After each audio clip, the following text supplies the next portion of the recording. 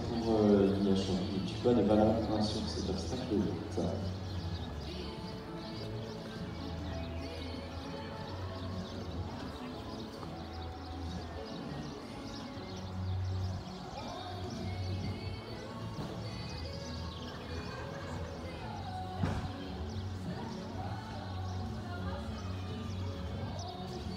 La cloche retentit pour le départ 38, c'est Jeanne Paradis qui s'élance sur cette belle piste d'échelle à Bien voilà, ça monte à ça de Lançon.